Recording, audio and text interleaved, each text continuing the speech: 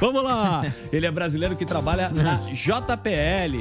Ele tem doutorado, é um grande homem. Ele faz parte da missão da NASA em Marte, onde recentemente tivemos um pouso da rover Perseverance no solo isso. marciano. Tá É com o isso livro aí, ó. Caminho de Marte. Vamos receber aqui saber. o homem. Pode anunciar. Ivair Gontijo tá aqui com a gente. Péssima apresentação É que é o O Ivair é o seguinte, o Ivair, o Ivair, ele é brasileiro e ele trabalha na NASA. E ele é um cara, é um mineiro, tá aqui o livro Uai. dele, ó, tá lançando em todo o Brasil.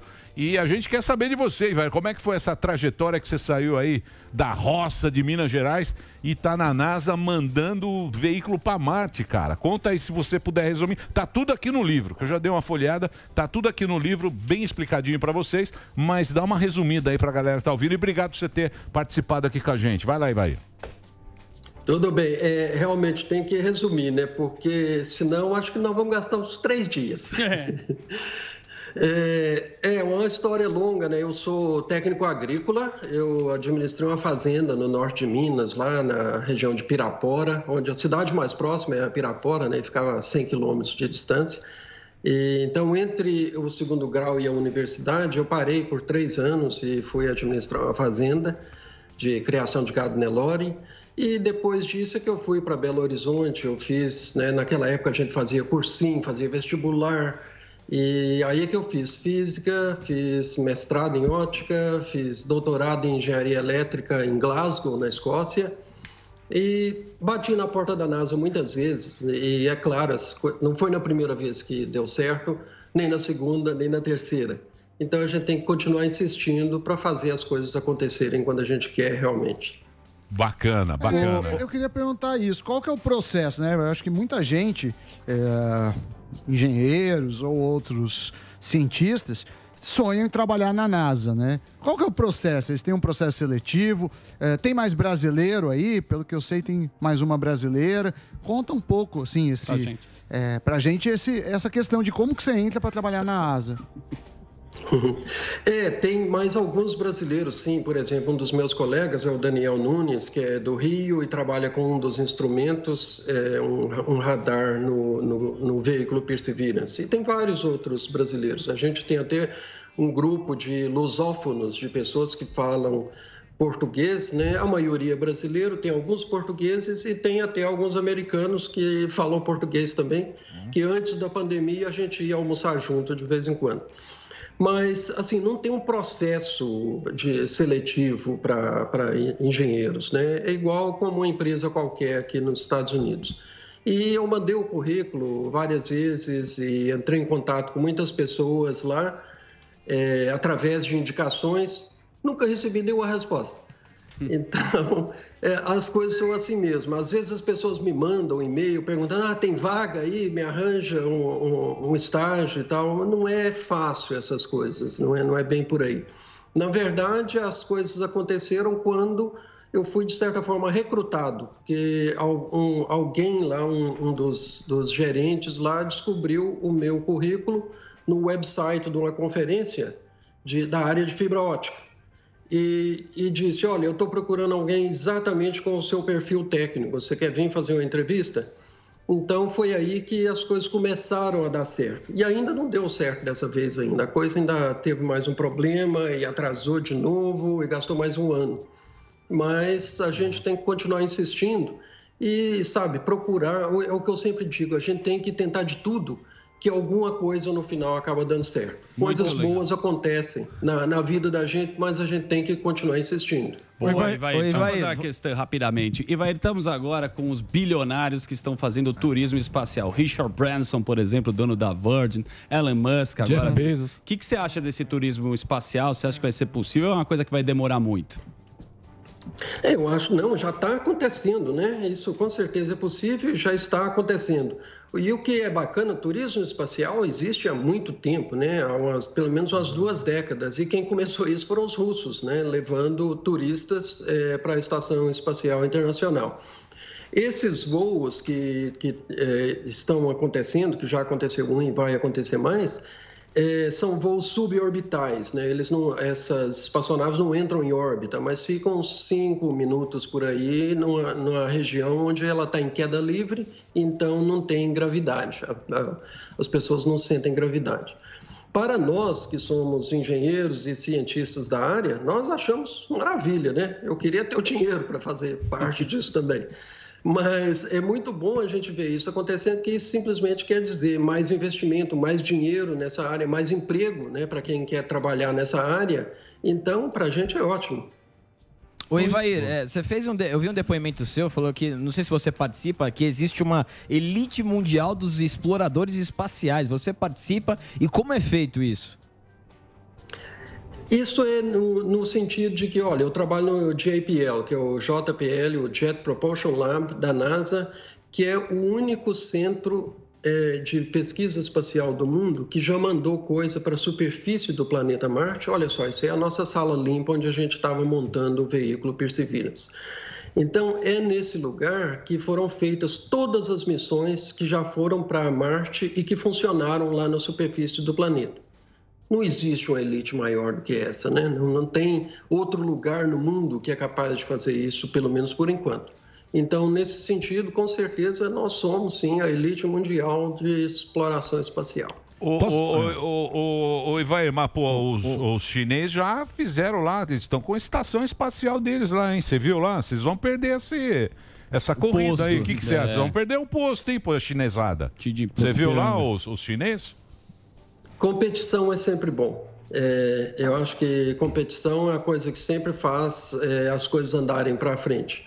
E sempre fazer as coisas também, né? É, é, tá sempre, por exemplo, todas as nossas missões, tudo é feito na frente das câmeras, né? É assustador, pessoal. Você imaginar que aquela coisa que você trabalhou agora está chegando em Marte a 28 mil quilômetros por hora e vai ter que começar um processo de desaceleração. Em sete minutos vai estar na superfície ou inteiro ou em pedaços. E aquilo que você trabalhou vai ter que funcionar, vai parte da, do processo para fazer esse pouso. E isso é feito na frente das câmeras do mundo inteiro. Né? Então, é. de certa forma, isso dá uma pressão tão grande que faz com que todo mundo esteja empurrando na mesma direção para que, todo, que a coisa dê certo. Vai dar, deve dar uma adrenalina incrível, né? Na, na equipe lá que está esperando aquele momento. Agora me fala uma coisa, eu, eu não sei, né? Porque a gente vê aqui, a gente vê aquela transmissão Sim. na televisão, aquela sala de controle da Houston, NASA e tal. Você faz exatamente. Existe uma função específica para você, Ivair, dentro dessa missão tão grande? A gente está vendo muita gente. Você faz alguma coisa? O que, que você faz lá? É, se, se, você conseguir é, traduzir aqui para gente de uma maneira simples tal. O que, que você faz nessa. Qual é a sua função lá? Durante no... a expedição. Isso, durante, durante a expedição. Olha, eu comecei a trabalhar na missão do Perseverance em 2015. É, esse instrumento que é a cabeça do veículo. Esse instrumento, essa parte foi feita na França, tem uma outra parte que foi feita na Espanha e uma outra parte que foi feita em Los Alamos, no estado do Novo México, aqui nos Estados Unidos.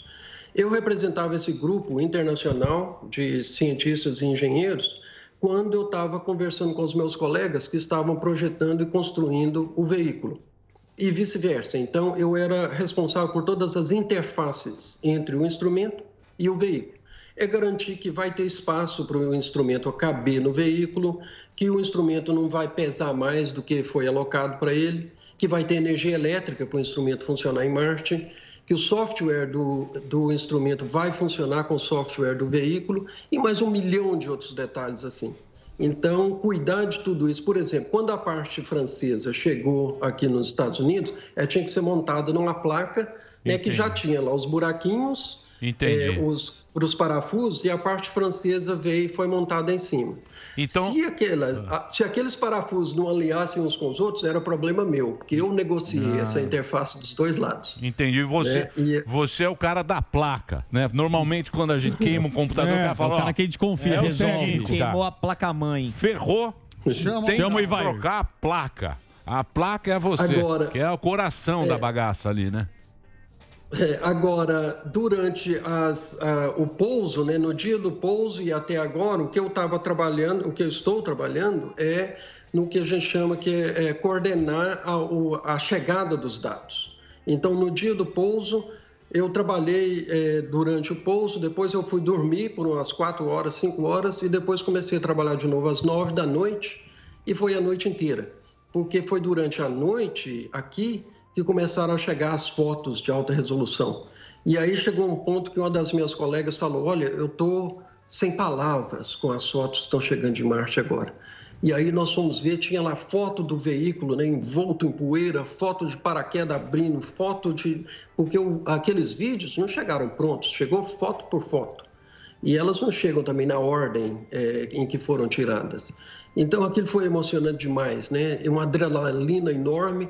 Quando eu olhei para a janela, que eu pensei, é, deve ter passado umas duas horas, já estava amanhecendo o dia. E desde então a gente tem trabalhado testando todos os, os instrumentos e todos os detalhes do veículo para garantir que as coisas estão funcionando perfeitamente. Então todo dia a gente recebe dados de Marte, né? a gente recebe é, centenas de megabytes de dados de Marte e uma das coisas que a gente faz é olhar se cada um dos instrumentos, tem sete instrumentos lá, se cada um deles está funcionando se ele está ligado, se ele está desligado, se ele foi marcado como sick, como doente, ou se ele está é, é, de boa saúde, né, se está tudo funcionando. Vamos olhar os dados e vamos então decidir o que fazer no dia seguinte. Então, se os instrumentos estão todos funcionando, então eles podem fazer parte das operações do dia seguinte lá em Marte. Então é um processo longo que leva umas 10 horas de trabalho todo dia. Oi, Vair, deixa eu te fazer uma pergunta a respeito dessa tecnologia aí que vocês usam. Como claro. que vocês fazem essa tecnologia? Você falou que recebe fotos, vídeos lá é, de Marte. É, eu que sou um puta cabaço, não, não manjo isso aí. É uma é, co como que vocês mandam pra cá? Porque é difícil mandar um vídeo pra minha mãe em Uberlândia. Como que faz pra não perder essas informações que vêm de tão longe assim? Que tecnologia que vocês usam? Bom.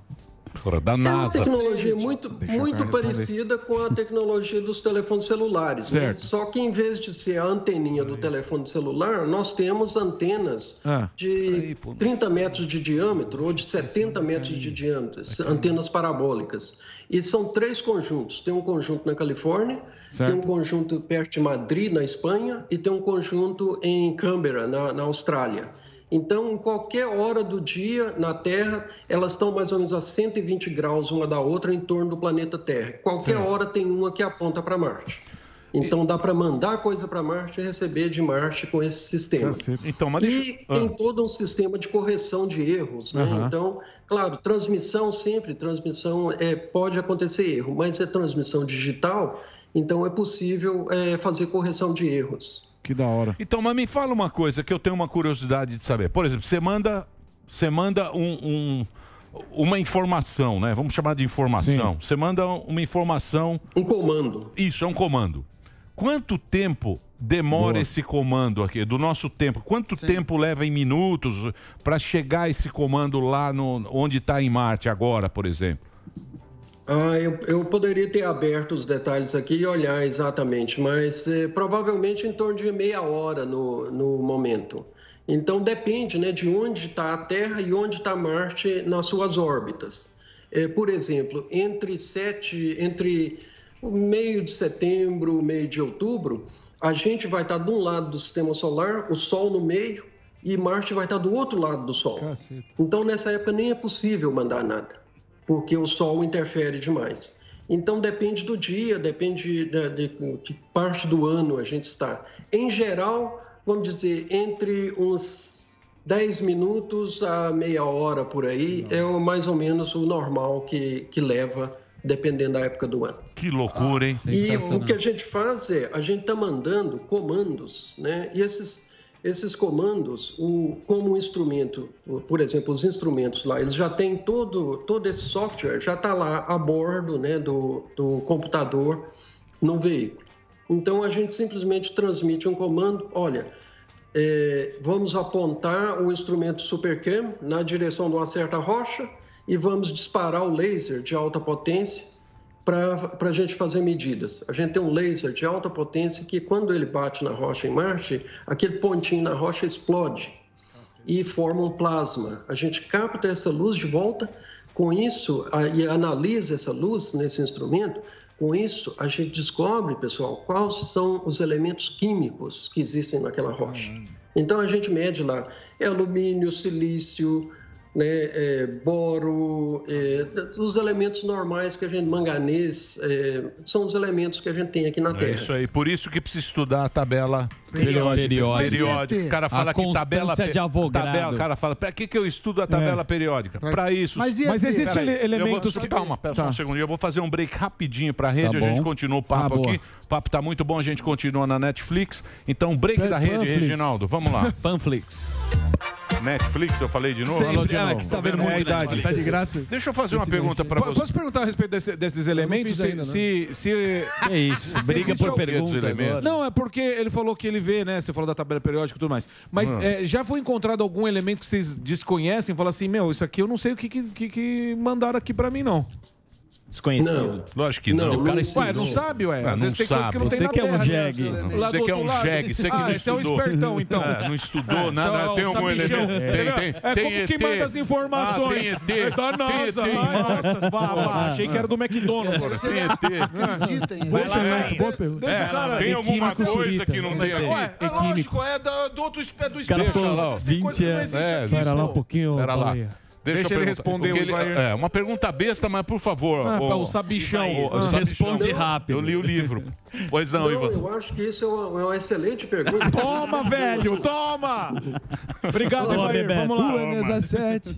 Olha, o que né, é, tem, tem mais de dois mil anos que a gente está estudando e tentando entender do que, que são feitas as coisas na Terra. Né? E os gregos foram os primeiros que falaram: olha, se a gente pegar uma coisa e começar a dividir, vai chegar num ponto que não dá para dividir mais. É um átomo, que não dá para dividir mais. Então, esses átomos chegam nos- é, é, são construídos né, com elétrons e prótons e, e outras partículas, e nêutrons. É, mas chega num ponto que você vai colocando mais e mais desses, desses componentes num átomo, ele fica grande demais, ele é instável. Então, depois do urânio, tem pouquinhos átomos, que, e eles são instáveis, eles, eles existem por pouco tempo e depois eles quebram de novo. Então, não, o resto do sistema solar e de tudo que a gente conhece, que já foi estudado até hoje, não existe nada que seja diferente do que tem aqui na Terra. Pronto, tá, Tá vendo, vendo? Mas foi uma falei. ótima pergunta. Não foi ótima pergunta. Eu- Ele agora falou- eu vou fazer uma ótima Vamos pergunta. ver, então. Aí a minha fica pergunta- pergunta, Vamos a lá, pergunta- Bebeto. É, vamos ver. A pergunta que não quer calar. Quem é o melhor Torinho? Você acha, meu querido Ivair, você que tá aí, você que, pô, que é um cara que deixa a Petra. gente com bastante orgulho por ser brasileiro, Sim. né? Normalmente o brasileiro diz, ah, não, brasileiro, pô, você tá na NASA, tá fazendo uma missão super importante. Você acha que um dia a gente vai ter capacidade de levar o ser humano até Marte ou isso ainda tá muito longe? Jura? Eu acredito que eu estarei vivo para ver os primeiros humanos chegando no planeta Marte. É, as- as- a- os desafios, né, os problemas ainda são gigantescos, né? até para, por exemplo, produzir oxigênio né, durante a viagem ou lá em Marte. Mas, por exemplo, nessa missão do Perseverance, nós levamos um instrumento, que é o instrumento MOXIE, ele absorve CO2 da atmosfera marciana, quebra a molécula de CO2 e produz oxigênio. Então, nós já, tamo, já demonstramos a produção de oxigênio lá no planeta Marte. Então, é mais um desses pequenos passos que a gente tem que tomar, né, tem que fazer, para que um dia os humanos possam realmente ir para Marte. Então- Então, eu acredito sim que isso vai acontecer nas próximas décadas. Então quer dizer, Matt Damon é- já é- foi. essa- isso tudo que a gente vê, né? Que vem, a gente vê a fotografia, Sim. a gente vê o filme, a gente vê a Ficção poeira, vê tal. É, é bacana, gente, mas quer dizer, tem outras experiências dentro de, de toda essa, essa missão, né? Tem outras coisas para ver se há possibilidade. É um passo que vão dando cada vez. E você acha que tem alguma vantagem ir para Marte? Pra gente para lá? Olha, olha é, o que a gente está tentando fazer no momento, a missão do Perseverance, nós estamos, é, é, a gente brinca e diz que nós estamos seguindo o carbono. O que a gente quer é procurar material orgânico genuinamente marciano. Veja bem, tudo que existe na Terra que é vivo é feito de carbono. Você, eu, nós todos somos carbono vivente. Então, se a vida se formou também em Marte no passado distante, isso com certeza seria de carbono também. E nós descemos num local espetacular, que é uma cratera, onde eh, a gente vê até de fotos orbitais, fotos tiradas por satélites que estão lá em órbita de Marte, claramente tinha um rio que corria para dentro dessa cratera. E esse rio trouxe muito sedimento e formou um delta. E esse sedimento ficou lá depois que esse lago secou. Que existia um lago dentro dessa cratera. Então, tá, agora o que tem lá são rochas sedimentares. E a gente sabe que na Terra, se a gente quer procurar fóssil, a gente acha isso em rochas sedimentares. Na época que existia esse lago e esse rio lá, isso foi há mais ou menos 3, 3,5 bilhões de anos atrás. Nessa época, a vida estava se formando aqui na Terra, né? existiam só seres unicelulares. Então, pode ser que a gente vai encontrar alguma coisa assim. É importante, né? A gente, é, nós, Aristóteles já dizia que o ser humano é um ser curioso, que quer entender, quer descobrir. Né? Um planeta com um desafio desse para nós, que é um desafio de bom tamanho. Não é muito difícil, nem não é nem impossível, nem fácil. É uma coisa que, sabe, é quase inevitável que o ser humano vai continuar insistindo, vai chegar lá no planeta Marte e quem sabe um dia vai ser né, a nossa segunda morada da, da espécie humana. E a gente vai se espalhar pelo sistema solar. Boa, boa. Oi, Muito vai- legal. Temos... Pois Oi, não, vai- Marinho. Uma, uma questão, porque a última vez que o é, exército americano tinha criado um órgão independente tinha sido em 1947 com a Força Aérea. Agora, em 2018, foi proposto e 2020 confirmado, é, através da pressão e proposta do Trump, a Space Force, a Força Espacial. É, o Emílio comentou aqui a, a competição com os chineses em termos de exploração, mas também agora ganha um contorno até de, de defesa nacional e de possível aventurismo bélico no espaço. É, você acha que foi uma iniciativa importante e qual é o futuro é, geopolítico ou espacial nesse sentido? O que, que você acha? Ah, isso aí está muito acima, como eles dizem, isso aí está muito acima do meu pay grade, da, da minha, da- da- do, do que me pagam. Isso aí é, né, são políticas internacionais e geopolítica que ah, eu acho que eu não tenho conhecimento para poder dar uma opinião nessa área. Boa, Ivair, é isso aí. Chupa. É Mas isso eu aí, Ivair. saber se uma- ele acredita em. ET. É, isso Você é bom. acredita? É Não, se ele acredita. Ah, em ET? É, se ele já acredita. Ah, trouxe e a minha, per- e a minha pergunta, então? Ele Tem um ET de Varginha. A minha foi uma é um- desgraça. Tinha- Tem o ET o cara veio aqui e falou que É. tinha informações. Tem rodou. Informação. Você acha, Ivair, que tem ET? Tem alguma coisa? já Minha viu? pergunta que Vamos ver, vamos ver. Essa é boa. Ah, é. Essa é boa. Tava me zoando do ET. Difícil de dizer, né? É, porque, olha, a Terra é um lugar bastante especial, de certa forma, né? Com, nós estamos na, na posição perfeita é, em relação ao Sol, não estamos nem muito perto, nem muito longe do Sol, de forma que aqui pode ter água líquida. E água é o solvente universal. É extremamente importante ter água líquida para que tenha vida. Mas, sabe, né, existem só na nossa galáxia, existem mais ou menos 200 bilhões de estrelas. E a gente está descobrindo que tem- é provável que existem mais planetas do que estrelas. Então, a chance de que existem outros planetas com essas condições especiais igual na Terra, eu acho que são grandes. O problema todo são as distâncias, né? Que as distâncias são grandes demais. Então, para que haja um contato, uma comunicação, né? se existem outros seres assim, é muito difícil. Aham. Né? Por exemplo, a luz do Sol gasta oito minutos para chegar na Terra. A luz da estrela mais próxima, depois do Sol, gasta quatro anos e quatro meses. É, a vida nossa, essa vida que a gente tem, né?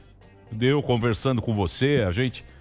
Esse jeito que é da gente é muito difícil. É- é- foi muita coincidência, né? A lua que faz a- as estações, as marés. É, muita, é um negócio muito bem feito pra gente estar aqui trocando essa ideia, conversando, tendo a. Né? É um negócio maluco, né?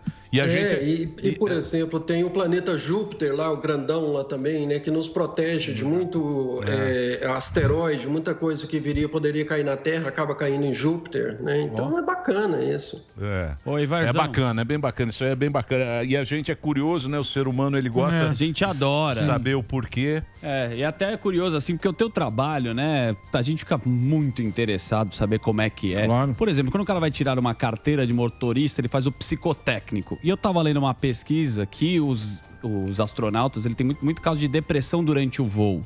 Como que é a preparação? Como é que você foi. é, como que você fez esse processo? E se tem todo esse preparo? Olha, eu não, não trabalho na área de voos tripulados, né? Então eh, não sei muito sobre essa Fala aí, área. Né? legal, legal. O, o JPL é mesmo só sobre eh, eh, eh, missões robóticas.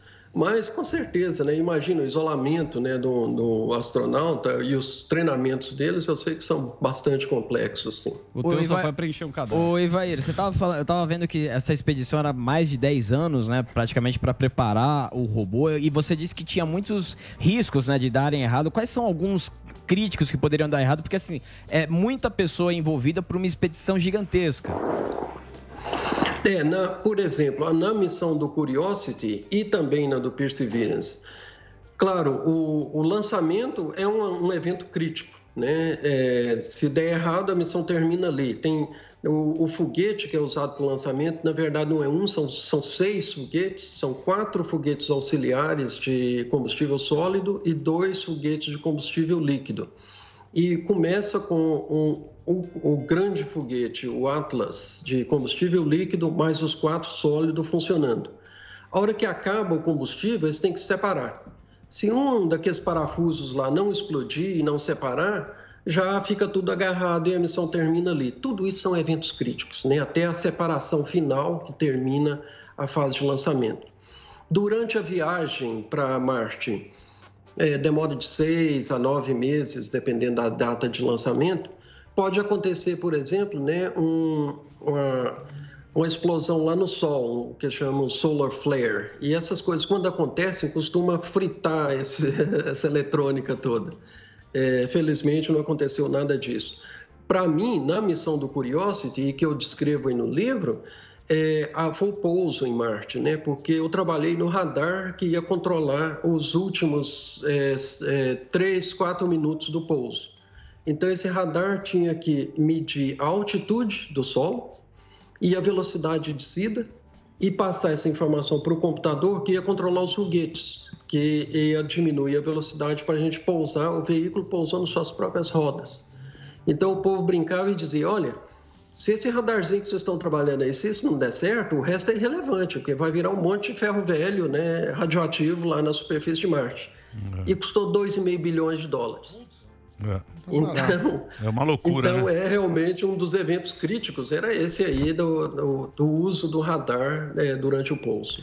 É uma loucura. A gente, só para comparação, é lógico que as perguntas que a gente está fazendo é bem, bem burralda. É bem boba. Muito. Desculpa, não, pergunta boa. São ótimas, são ótimas. então, mas, mas Ah, o, o- que eu queria saber é o seguinte, por exemplo, para a gente ter uma ideia, o veículo, Hum. o veículo é o que? É o tamanho de um, de um Volkswagen, de um, de um- o tamanho Isso. dele, o tamanho do Volkswagen. É, ele, tem, ele tem mais ou menos uns dois metros e meio de comprimento. Aquele mastro com o instrumento em cima é dois metros e dez de altura e ele pesa na Terra 900 quilos. É, um, Então, um carro compacto. Um carro, um carro popular. Você tem que levar aquele carro, sair dos Estados Unidos, Oito meses, ir nove até meses. Marte viajando, são oito Nove meses, meses. nove Nove meses. E você tem que ele tem que, que descer mais ou menos em que área que vocês determinam? O tamanho de que, mais ou menos, onde ele vai, Vai onde ele vai pousar. Ele, por exemplo, o Perseverance, ele desceu. eh, vamos começar com o Curiosity. O Curiosity desceu eh, dentro de uma cratera, né, que foi escolhida com muito cuidado, a cratera Gale, e ele tinha que descer. A gente sabia que ele ia descer dentro de uma elipse de pouso com 90% de probabilidade. Essa elipse tinha 7 quilômetros numa direção e 20 na outra. Né, Uma elipse é um círculo achatado, né? uma coisa mais ou menos desse formato. Então, 7 quilômetros aqui e 20 nessa outra direção. Já o, isso foi o Curiosity. Já o Perseverance, ele desceu numa região, acho que quatro vezes menor, é, porque a tecnologia melhorou e a gente usou uma técnica diferente. Então, ele desceu dentro de uma outra cratera, que é a cratera Jezero, e, de novo, todos os cálculos foram feitos e a, a elipse com 90% de probabilidade de pouso era bem menor nesse caso, porque a tecnologia era melhor. Pô, bacana, viu? Oi, Vair, pô, quero agradecer legal, o papo meu. que você teve aqui, legal. pô, motivo de orgulho aqui pra gente aqui do Brasil, que, porra, brasileiro, né, na NASA, tá aqui o livro pra você, ó, A Caminho de Marte, conta toda a trajetória aqui do nosso querido Ivair, que está aqui conversando com a gente. Ó, compre o seu, já está vendo aqui, ó, tô mostrando aqui para todo o Brasil, o livro do Ivair, que você pode comprar agora. Tem um monte de livrarias virtuais. Show. Ivair Gontijo. Eu vou deixar aqui na mesa. Boa. É, Oi, Ivair, obrigado, hein? Obrigado pelo papo. Boa sorte para você. E valeu aí a sua participação aqui no programa. Sensacional. Valeu, pessoal. Muito obrigado. Muito bom falar com vocês. Valeu, um prazer. Parabéns obrigado. aí. Muito legal. Muito Bom, bem. Eu acho da hora. É, Top. Você, já- você já viu que aqui ninguém, ninguém, Ninguém entraria manja. na NASA. Não, Lógico que tem não. capacidade. Não. E é bom ter Mas um não cara superior.